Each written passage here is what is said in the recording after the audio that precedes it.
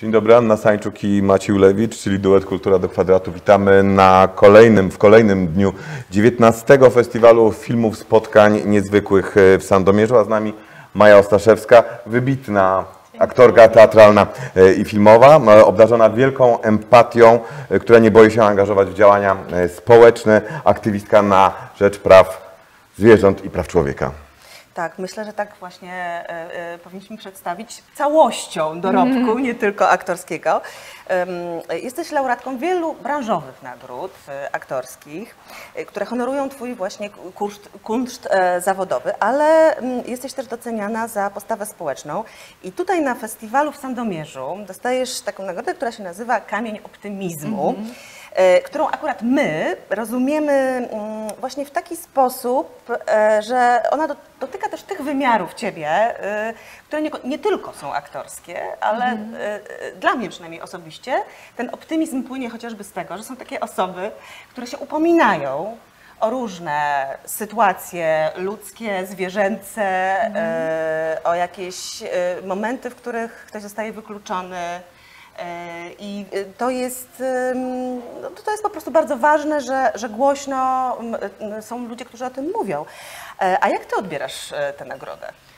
Po pierwsze jest mi ogromnie miło i bardzo, bardzo ją doceniam i, i, i Kasia Kubacka-Stawel zapraszała mnie tu już wcześniej, od ponad roku. Wreszcie udało się przyjechać. Piękna nazwa. Ja po prostu, mnie, mnie najbardziej frustruje zgoda na, na, na, na, nie wiem, na okrucieństwo, bezradność wobec rzeczy strasznych, które się dzieją, więc e, po prostu działania i takie poczucie sprawczości, nawet jeśli nie globalne, bo oczywiście, że nie, ale w tej naszej małej mm, rzeczywistości jakby wokół nas, y, mi daje taką nadzieję i chce się y, i, i, i daje mi też optymizm. Nawet w najbardziej tragicznych sytuacjach, mówiłam tutaj na spotkaniu o tym, y, poznaję niezwykłych ludzi, którzy zmieniają po prostu świat na lepszy i to, to daje optymizm. Y, No, a poza tym jestem taką osobą, która y, no, zawsze zastanawia się, co można zrobić, żeby było lepiej y, i dla innych, ale też dla mnie samej. A poza tym mam ten przywilej, że umiem zachwycać się też życiem i światem i, i, i celebrować chwilę. I myślę, że to daje też mi taki duży napęd, więc bardzo się cieszę z tej nagrody.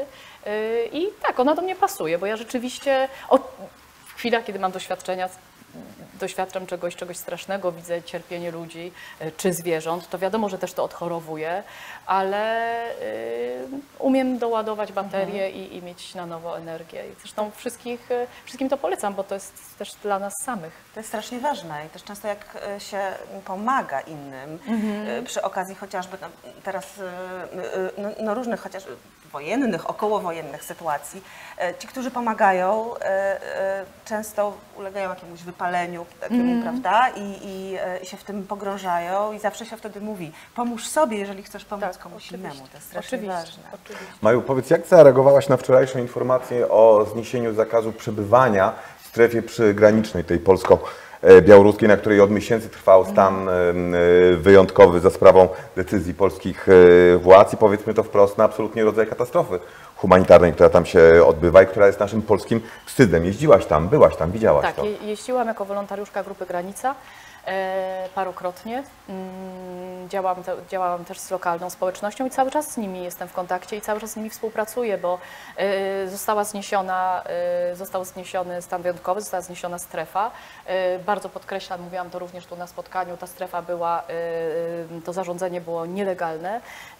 Prezydent ma uprawnienia, żeby przedłużyć strefę do maksymalnie i stan wyjątkowy maksymalnie do 90 dni, więc przyznanie potem uprawnień ministrowi Mariuszowi Kamińskiemu do przedłużania tej strefy jest nie tylko sprzeczne z polskim prawem, ko, polską konstytucją y, z, i z kodeksem karnym, więc, więc, więc ta strefa była nielegalna, a jednak y, y, wiele organizacji i również dziennikarzy nie zdecydowało się tam wjeżdżać. Wjeżdżały osoby prywatne, żeby nieść pomoc. Dobrze, że tej strefy nie ma, bo tam też e, były zawieszone po prostu prawa obywatelskie, takie, które funkcjonują w normalnym demokratycznym kraju dla prawie po, e, e, po, połowy miliona obywateli, bo to, był to jest ogromny teren. Tak. Y, więc, więc ci ludzie będą mogli troszeczkę normalniej żyć, ale prawda jest taka, że osoby błąkające się po lesie nadal tam są i dla mnie takim, nie wiem, choćby cztery dni temu wysyłałam bardzo dużą paczkę e, ze spodniami, z butami do y, Białego Stoku. Y, i, y, no, i oczekuję, że teraz takie organizacje jak e, Polski Czerwony Krzyż, jak Pach, wreszcie tam pojadą, będą po prostu niosły też pomoc, bo w tej chwili to jest na barkach osób prywatnych. Takie osoby jak ja, które pomagały na przykład z, z Warszawy, nie mogą być tam aż tak długo, zwłaszcza, że osób, które tam się znajdują jest teraz mniej. E, Ja mam e, swoje życie i bardzo dużo obowiązków w Warszawie, więc czasem też tam jeszcze jeżdżę, ale nie mogę y, siedzieć tam e, ciągle. Dużo organizacji też teraz skupiło się na niesieniu pomocy Na osobom, granicy, tak, tak, Ukrainy. uciekającym przed wojną w Ukrainie. Zresztą w te, te działania też się włączyłam, bo, bo dla nas no, po prostu każdy człowiek zasługuje na pokój i, i podanie mu ręki, więc czy to jest jedna czy druga granica dla mnie nie ma żadnego znaczenia. Y, No więc prawda jest taka, że pomoc y, y, całkowicie spadła na barki y, po prostu lokalnej społeczności. Oni są wykończeni, oni są naszymi absolutnymi prawdziwymi bohaterami. Tak jak nie wiem, cała rodzina Sylerów, jak Paulina Bownik i wiele, wiele innych można by tutaj y, wymieniać. Ym, Więc bardzo się cieszę ze zniesienia tej strefy, no ale y, chciałabym zobaczyć, y, co w związku z tym się wydarzy. I apeluję do organizacji, żeby po prostu wzięły sprawy w swoje ręce. E, Kilka dni temu wzięłaś e, udział w premierze spektaklu Sprawiedliwość w reżyserii Michała Zawdary w Teatrze Powszechnym, w Warszawie. Tak, w Warszawie który to spektakl bezpośrednio e, odnosi się właśnie do tragedii ludzkich, które się tam wydarzają. Co to za spektakl? Może Tak. powiedzmy. To jest spektakl specyficzny. Nigdy w życiu nie, nie, nie brałam udziału w takim projekcie, bo to jest spektakl dokumentalny. On ma taki charakter właściwie przewodu. Y, Powstał we współpracy w, e, w kooprodukcji z e, Salab Lab Grupą Granica, a także prawnikami Helsińskiej Fundacji Praw Człowieka. I on opowiada o y, chronologicznie od początku kryzysu, od y, tak naprawdę momentu y, w Usnarzu. Wcześniej opisujemy sytuację, y, jaka panuje w krajach, z których największa część osób uchodźczych pojawia się w Polsce, czyli y, Syria, Irak, Afganistan. Y, Bo też opowiadam o konkretnych losach, konkretnych osób, które y, przeżyły, ale także opowiadamy o tych, którzy zginęli i to część z nich zginęła po polskiej stronie. Wykończona po kolejnych wywózkach, czy część z nich była wywiezio, wywieziona ze szpitali y, mimo złego stanu zdrowia. Y, I y, opowiadamy o tym, ale opowiadamy też o tym, więc z jednej strony o kryzysie humanitarnym i o tragedii ludzi, którzy utknęli w tym pasie przygranicznym po polskiej lub białoruskiej stronie, ale opowiadamy też o kryzysie prawnym i politycznym, ponieważ bardzo wiele decyzji, które zostały podjęte, e, ustaw, e, rozporządzeń, było sprzecznych z prawem i kolejne powoływały się e, na, nie wiem, na przykład była nowelizacja ustawy, która była sprzeczna z prawem i ta następna była jeszcze bardziej sprzeczna z prawem e, i, i, i ta, ta, ta m, jakaś taka paranoja w ogóle, jakbyśmy, nie wiem, opowiadali o jakimś kraju u Bóg króla, polega na tym, że czasem, nie wiem, funkcjonariusze łamali nie tylko polskie, polską konstytucję, polskie prawo, ale również niezgodną z prawem decyzje e, ministrów. E, No i też, też zagłębiłam się, w, poznałam całą ustawę o Straży Granicznej i co jest w kompetencjach strażników granicznych i jaka jest odpowiedzialność też indywidualna. I To są rzeczy zatrważające.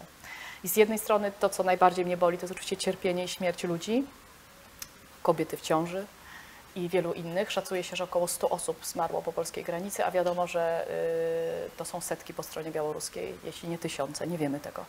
Y, ale z drugiej strony to, że taki eksperyment w ogóle się odbył i że y, właśnie połowie miliona mieszkańców i 4% naszego kraju zawieszono na prawie rok bezprawnie ustrój demokratyczny. Tam w pewnym sensie mieliśmy do czynienia z takim państwem autorytarnym, a nawet nie w pewnym sensie, Nie, tylko tak było. wprost. Po prostu tak było. I to jest, e, myślę, że powinno dać to wszystkim do myślenia. Więc ten spektakl ma taką wartość też e, powiedziałabym trzeźwiącą i taką informacyjną, że, że my się czasem mówimy, och, boimy się, że to ma znamiona y, skłaniania się ku autorytaryzmowi, a y, już ten kawałek, nasz pas, Już tam był. przez prawie rok był, y, to nie był kraj demokratyczny. Tak.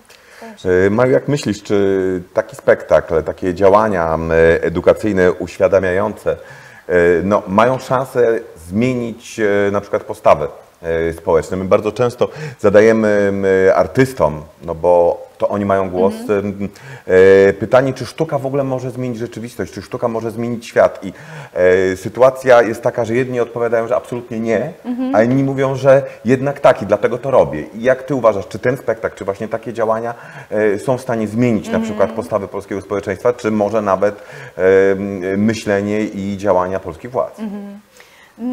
Myślę, że myślenie i działania polskich władz nie zmieni.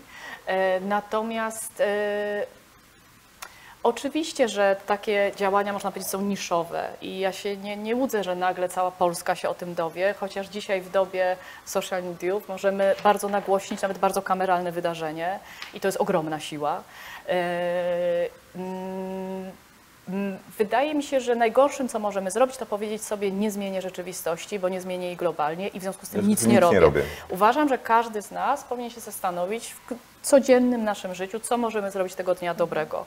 I czasem to jest e, zawieszenie swojej działalności i spędzenie po prostu super dnia z dzieckiem, czasem to jest przystąpienie do takiego spektaklu, e, a czasem to jest zmiana swojego sposobu życia, żeby nie pogłębiać, nie wiem, kryzysu klimatycznego. I to też można zrobić tak i masz wpływ. Bo to jest taki był bardzo dobry mem, że y, to tylko jedna plastikowa rurka do picia.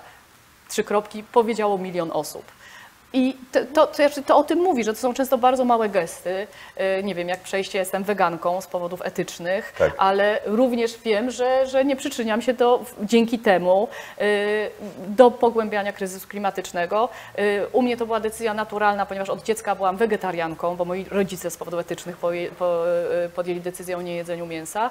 No ale jak nagle się zorientowałam, co się dzieje w przemyśle mlecznym i, i jak też się znęca nad zwierzętami i też ile, ile produkuje świństwa w, y, do naszej atmosfery, no to to była bardzo szybka, bardzo prosta decyzja. Czuję się świetnie, nic mi nie brakuje, y, więc naprawdę nie, nie ma co się zastanawiać, że trzeba być w zgodzie ze sobą, trzeba być spójnym ze sobą. Ja sobie nie wyobrażam, żeby, nie wiem, nie działać albo żeby nie wziąć udziału, jeśli mogłam w takim projekcie bo on jest dla mnie ważny. Mamy taki pomysł, żeby, żeby chcielibyśmy pokazywać to liceum, zobaczymy. No. Chcielibyśmy pojechać na Podlasie też z tym bardzo.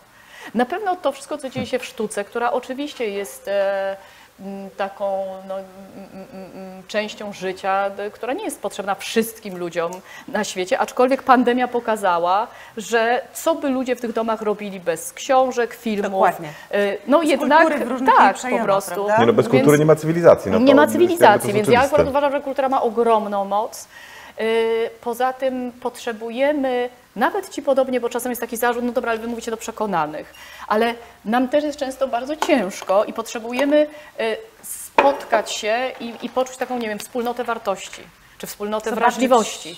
To też daje ogromną siłę i od razu chce się działać dalej. Ja szczerze mówiąc, jak te, teraz jak poznałam, akurat powiem nie o sztuce, ale właśnie y, przy okazji tych kryzysowych sytuacji, zarówno jeśli chodzi o, o, o, o, o sprawy związane z niehumanitarnym traktowaniem zwierząt, czy kryzys y, y, y, humanitarny, poznałam tak wspaniałych aktywistów i tak wspaniałych ludzi, że oni są dla mnie inspiracją i y, to daje mi wielką siłę do działania, więc wierzę, że, że każdy taki nasz gest ja w sztuce osobiście mówię, ten spektakl jest dla mnie, ale ja go nie do końca traktuję artystycznie, chociaż to jest bardzo ciekawe, kiedy to prawo, które jest po prostu fascynujące, Staje się łączy się tak, tak, to było dla mnie dla też było aktorów. takim niebywałym doświadczeniem, kiedy czytaliśmy konstytucję i czytali ją często wybitni aktorzy i po prostu nagle ta konstytucja brzmiała jak jakiś po prostu wybitny utwór E, i to jest bardzo, bardzo ciekawe takie spotkanie kultury. Z, e, natomiast na co dzień rzeczywiście ja, ja kocham w sztuce metaforę, nie uprawiam teatru ani filmu publicystycznego. Mogę raz na jakiś czas to zrobić, bo bardzo też to cenię, ale, ale, ale głównie moje projekty to są e, no, takie właśnie, z, z, gdzie nie wiem, Krzysztof Warikowski buduje cały świat i to jest, e, to jest metaforyczne. Dobrze, to właśnie, właśnie teraz chcemy do, do teraz- tego świata jeszcze zajrzyjmy na chwilę. E, aktorka zespołu e, Nowego Teatru Krzysztofa Walikowskiego, że wspomnimy chociażby Twoje fenomenalne mm, e, e, kreacje w, w jego spektaklach Francuzi czy Odyseja. są te żeby ostatnie, te, można te powiedzieć. ostatnie przywołać, ale jesteś też aktorką filmową. E, I e, e, tutaj chętnie wspomnę naszą ukochaną rolę w filmie Body Ciało Małgorzaty Szumowskiej. No, Ale pamiętamy także filmy, pierwsze filmy Łukasza Barczyka, czyli Patrzę na Ciebie Marysiu czy Przemiany. Dla mnie to był taki polski Bergman wtedy. Mhm. No a na premierę czeka najnowszy film Leszka Dawida Broadpeak. Tak. Jesienią już, we, we, wrześniu najprawdopodobniej. gdzie grasz rolę żony głównego Himalajsty Macieja Berbeki. Powiedz, jak Ty godzisz te dwa światy, pozornie bliskie, ale jednocześnie dalekie? Mówimy o y, ak- byciu aktorem teatralnym i filmowym, bo to przecież to Nie jest wszyscy aktorzy tak e, e, łączą je, prawda? Nie Są wszyscy, tacy, tak. którzy zostają w jednym. Tak, to prawda. Albo się w jednej bardziej specjalizują. Yy, No czasem tak los też po prostu prowadzi ścieżki, że ktoś po prostu nie dostaje propozycji filmowych e, albo nie jest, e, nie wiem, zaproszony do jakiegoś ciekawego e, zespołu teatralnego w miejscu, w którym chciałby żyć, bo przecież jak się pracuje w teatrze, to na ogół, e, No tak. e, e, jeśli dużo pracujemy w jakimś teatrze, to na ogół w tym mieście zamieszkujemy, więc część aktorów po prostu pracuje tam, gdzie, gdzie te prace znalazło. Mam to szczęście, ten przywilej, że, że i teatr, i, i film jest dla mnie przychylny i, i, i, z- i znajduję y, i dostaję ciekawe propozycje. Ja po prostu bardzo kocham obie te, y, oba te światy, y, zupełnie inne. Oczywiście przy samym budowaniu roli, nie wiem, psychologii postaci, używam tych samych narzędzi, kiedy się przygotowuję, kiedy myślę, jak coś zagrać. swojego ciała E, jako tak. narzędzia, prawda? Natomiast później jest to jednak zupełnie inne medium e, i to jest fascynujące. Czyli dla mnie w ogóle też znajdowanie tych różnic. E, ja sobie nie wyobrażam uprawiania tego zawodu na przykład bez teatru lub bez filmu. Co się może zdarzyć, bo może mi się różnie życie ułożyć, ale bardzo cenię sobie to, że mogę to łączyć. Ale też jest coś takiego, że jak rozmawiamy z e, Twoimi koleżankami i, i na przykład jest coś takiego, że takiej Agnieszce Grochowskiej em, em, e, kariera filmowa bardziej się w tej chwili zdarza i zawsze w każdym wywiadzie jednak i z nami mówi tęsknię za teatrem. Że No, to ja, jest- ja to bardzo rozumiem. że Ja, ja absolutnie kocham teatr i oczywiście też, e, ponieważ e, pracuję w filmie, ponieważ jestem mamą dwójki dzieci, ponieważ działam aktywistycznie i dla mnie to jest tak samo ważne, część jakby w ogóle mojego jestestwa, e, więc też ja nie wchodzę w kilka premier e, w roku. E, Tak. z- Gram raz no, w teatrze nowym, gram w, teat- w spektaklach, no rzeczywiście wszystkich Krzysztofa Warlikowskiego. Gram poza tym w jednym spektaklu Michała Borczucha.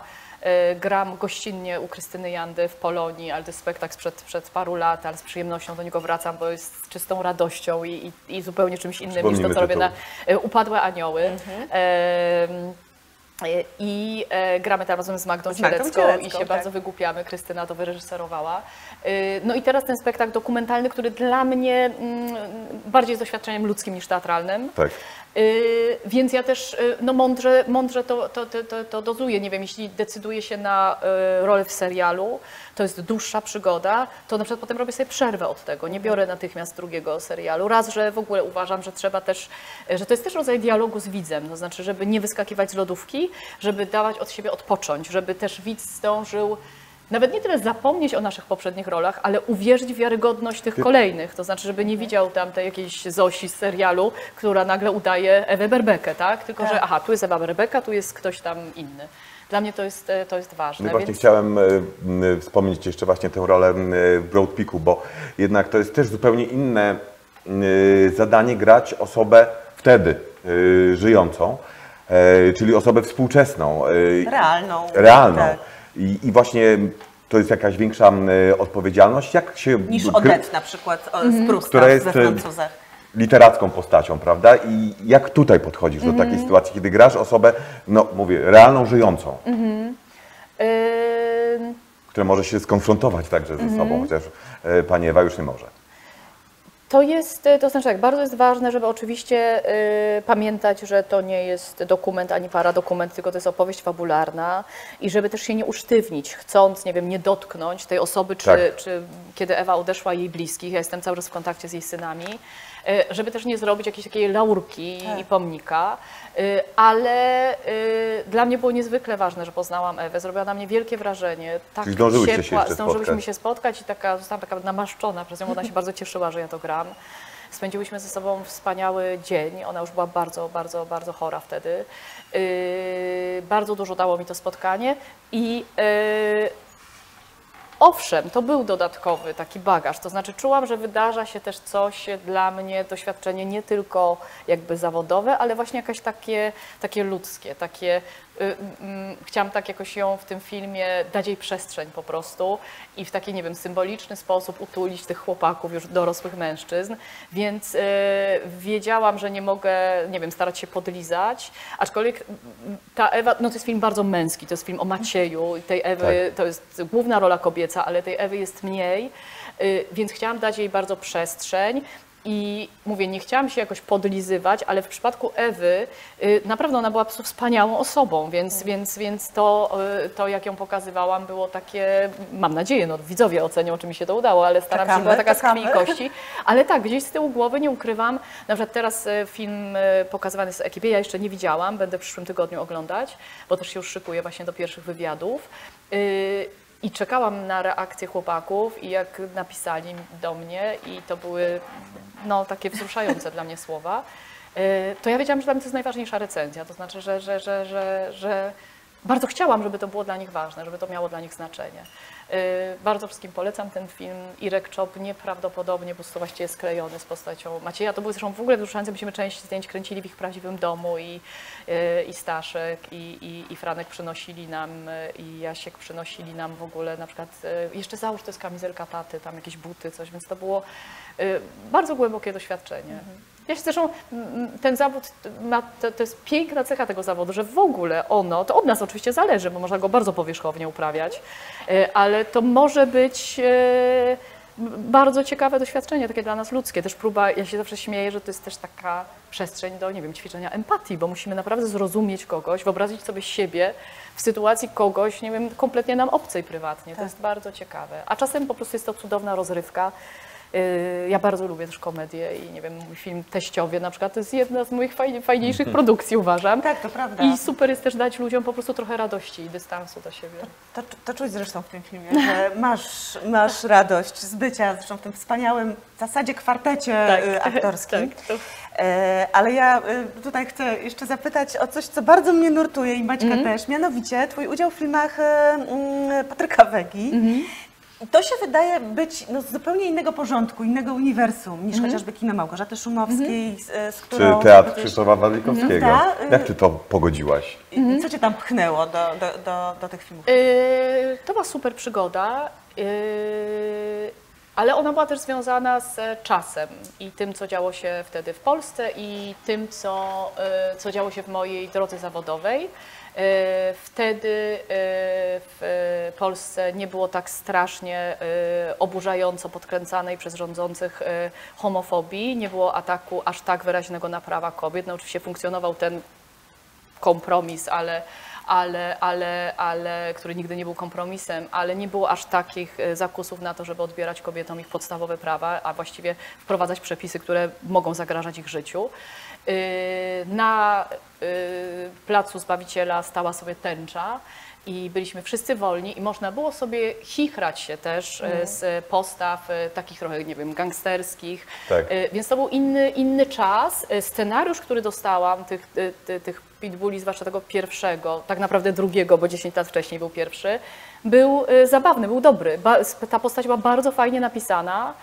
Co więcej, Patryk Wega zadzwonił do mnie po filmie Body Ciało, do którego ja musiałam przygotować bohaterkę taką nie wiem, czy w ogóle można tak powiedzieć, ale no, jakby stłumić swoją seksualność. E, e, szukałyśmy takich rozwiązań, żeby ona wyglądała jak najmniej atrakcyjnie, e, żeby, żeby coś takiego w ciele było też jakby zamkniętego, nieotwartego. E, i, I wiadomo, że u aktorki pojawia się w Polsce bardzo łatwo się szufladkuje. I ja też pojawił mi się taki, taka myśl, czy ja teraz w ogóle dostanę rolę takiej, że tak powiem, bomby i, i takiej babki do przodu. No i nagle on mi proponuje kogoś, dla kogo jakby idolkami są żony i narzeczone piłkarze, czyli wax, czyli tak zwana blachara, choć to jest nieładne, nieładne określenie, ale to, była, to było bardzo takie śmieszne dla mnie wyzwanie. Ja stwierdziłam, że po tym body ciało, no to jest w ogóle jakaś super przygoda. Wyzwolenie też I mówię, ale w tym postaci. scenariuszu też e, nie było jeszcze rzeczy, które dla mnie są później, pomijam już formę, ale również, które były dla mnie niedopuszczalne w treści. No, Patryk, ja, ja sama nie chciałam tego nagłaśniać, on uznał chyba, że to będzie świetny PR. E, Bardzo nagłośnił fakt, że e, i ja i Magda Cielecka odmówiłyśmy udziału w e, kolejnym jego filmie w Botoksie. Dla Tak, mnie no. scenariusz tego filmu był po prostu haniebny, no, był antyludzki, antykobiecy i mówię, sama nie chciałam tego nagłaśniać, chociaż on z tego zrobił wielką aferę w mediach i, i to urosło do jakiejś w ogóle, e, e, mm, więc po prostu no, czasy się zmieniły. Co więcej, no, no, myślę, że też te filmy, które on w tej chwili robi, no, są coraz gorsze. No, nawet nie jestem w stanie zobaczyć całego, chociaż z ciekawości coś tam włączyłam, więc, e, więc tyle. E, Pytanie to na pewno słyszałaś już e, wielokrotnie, ale my go nigdy nie zada zadaliśmy i e, chcielibyśmy naprawdę usłyszeć Twoją odpowiedź. Ja jestem pod olbrzymim wrażeniem ostatniego filmu Twojego męża i Małgorzaty Szumowskiej Śniegu już nigdy nie będzie. Gdzieś tam miałem takie postlinczowskie w ogóle powidoki w tym wszystkim i byłem pod dużym wrażeniem wszystkiego, co tam zobaczyłem. No ale właśnie, Twój mąż jest współreżyserem Partner. tego filmu, partner, em, jest e, autorem Michał Englert, jeszcze powiedzmy, tak. jak się nazywa. współautorem scenariusza i e, autorem e, zdjęć. Powiedz, jak się pracuje e, właśnie z partnerem, z bliską rodziną na planie? Jak jesteśmy w stanie oddzielić te dwa światy albo ich co, w ogóle nie oddzielacie? Jak, jak to jest? Nie, nie, nie, nie, nie, nie, nie ma co sztucznie czegoś oddzielać czy nie oddzielać, albo udawać, że się bo nie się nie znamy. da przecież. Yy, szczerze mówiąc, ja mam doświadczenie pra, pracy w takich grupach. Tak było, nie wiem, tak było, kiedy w teatrze pracowałam z Krystianem Lupą, który był też przyjacielem moich rodziców. Yy, tak jest w teatrze Krzysztofa Warlikowskiego. Tak. Znamy się po prostu, ja nie wiem już ile lat, z 30, Taka rodzina, 20. prawda? Trochę zawodowa. Yy, z częścią aktorów e, się bardzo mocno kumpluje, z częścią się w ogóle bardzo przyjaźnie i należą do grupy naj, naj, najlepszych moich przyjaciół. E, Małgośkę znam od dziecka, ponieważ też nasi rodzice się znali. Znałam Małgośkę zanim, e, e, zanim poznałam Michała i zanim ona poznała Michała. Pracuje się świetnie, bo powodem naszego spotkania nie jest to, że się znamy, tylko to, że też znajdujemy gdzieś wspólny język i że my się też spotykamy co jakiś czas, więc zdążamy za sobą zatęsknić, bo spotykamy się tylko wtedy na planie, kiedy przede wszystkim oni, a potem też ja, daję sobie to prawo, decydujemy, że tak, to jest rola, którą powinna Mhm. zagrać ja.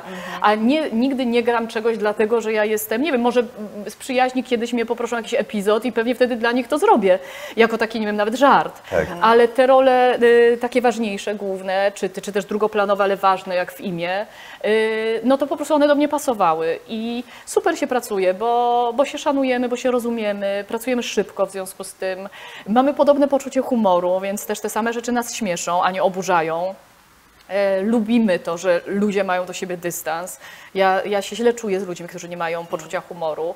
E, e, są dla mnie zbyt sztywni, więc, więc strasznie lubię robić z nimi filmy i to na poważne tematy, jest tam też tyle oddechu i taki czarny humor. Yy, A z Michałem, no oboje jesteśmy profesjonalistami i no, Małgośka też, ale, ale pytaliście głównie o te Tak. relacje. Yy, Bardzo dużo pracujemy też osobno, więc yy, nie, nie, nie jest to taki układ jak, nie wiem, dyrektorowa, która nagle jakoś inaczej funkcjonuje na planie, więc czasem nawet to się śmieją wszyscy, bo Michał jest czasem dużo bardziej surowy wobec mnie niż innych aktorów, bo chyba bardzo tak nie chce właśnie, nie wiem, mm, mm, mm, faworyzować, czy, czy żeby ludzie się poczuli dyskomfortowo, bo Tak, my jesteśmy tak. blisko, więc bywa dla mnie bardzo, y, bardzo, bardzo krytyczny, a pra, no nie chcę powiedzieć okrutny, ale Surowy. ale, ale surowy. Mm, Natomiast nie, no świetnie nam się pracuje. Oczywiście są to jedne z moich e, ukochanych filmów. No, przez Was wspomniane Błody Ciało jest moim ukochanym filmem. No to, to jest, tak to, jest, to, jest, to, to jest prawda. dla nas. A macie już jakieś plany wspólne w tym na przykład tercecie Szumowska, Englert, A ja bym powiedział, zapytałbym nawet o duet y, po prostu, czyli Albo Engels, duet, tak, y, bo no, Ostaszewska. Yy, s- No, teściów zrobiliśmy razem z Michałem, Tak, tylko on był to tam prawda. tylko, bo z Małgośką już od paru lat oni wspólnie piszą scenariusze, a Tak, często tak. też są współreżyserami. Reżyserami. Tak było w Śniegu już nigdy nie będzie. Tak było w ich filmie e, amerykańskim Infinite Infinite, Storm, Storm. e, gdzie Michał jest też, e, też podpisany jako co-director. E, natomiast teściów zrobił po prostu jako operator i mieliśmy super fan e, na planie. Tak naprawdę to, to, to, to Michał Kwieciński, to był też taki bardzo producencki film. On wymyślił e, obsadę, ale, ale szukał debiutanta i Michał polecił Kubę Michalczuka, ponieważ znał go z kolei z filmów reklamowych i wiedział, że to jest e, świetny facet. E, Zresztą teraz robi swój kolejny duży film. Yy, No i to, to, to było super, bardzo fajnie było być razem na planie. Mm, Oni szykują się do kolejnego filmu. Yy, Nie wiem, czy, czy, czy tam będzie jakaś, na pewno nie w, gł- w głównym tym pionie, yy, tam będą na pewno inni aktorzy.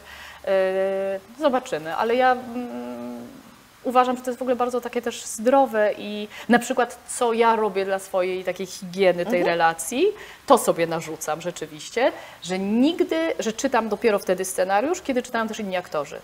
Aha. Przy Body Ciało była wyjątkowa sytuacja, bo ja wiedziałam, że oni dla mnie, oni od początku wiedzieli, że chcę, chcą, żebym zagrała to ja i Janusz Gajos, więc mieliśmy z Januszem ten komfort, że już rozmowy toczyły się w trakcie ich pisania. Yy, miałam też tam swój wkład, ponieważ yy, przyniosłam parę pomysłów, a też musiałam, wiedziałam, że będą fragmenty takie improwizowane, czyli te terapeutyczne. Tak, tak, tak. I ja się bardzo, bardzo rzetelnie przygotowywałam do tego, brałam udział w ustawieniach Kaliberowskiej. psychodramy i, i potem sama ćwiczyłam, to wiadomo, że na potrzeby filmu, ale żeby być tą osobą, która to moderuje, więc umiałam, tak bardzo powierzchownie, nie umiałam w ogóle, nie, nie nie chcę obrazić nikogo tu z profesjonalistów, ale na potrzeby filmu umiałam to robić.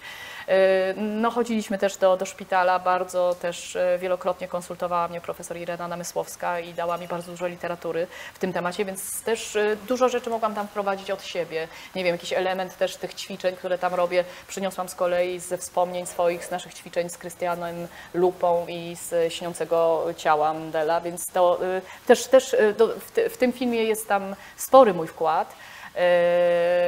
I, y, I tam była ta współpraca już na takim etapie, ale to też było bardzo takie uczciwe, bo Janusz również wiedział, że, że Tak. dla niego to jest pisane.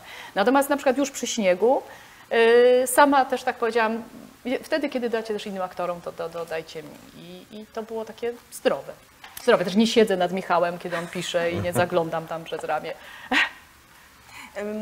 Bardzo czekamy na te y, kolejne i filmowe, i teatralne Twoje y, przejawienia, objawienia czasami dla nas również. Mamy nadzieję, że kontuzja, której doznałaś, Powolutku. y, nie będzie Ci dokuczać, bo y, to może też trzeba powiedzieć, że ostatnie Twoje zaistnienia na scenie odbywały się z kolanem, które nie do końca działało. tak, jeszcze to- w wielkiej ortezie i okulach, tak. tak.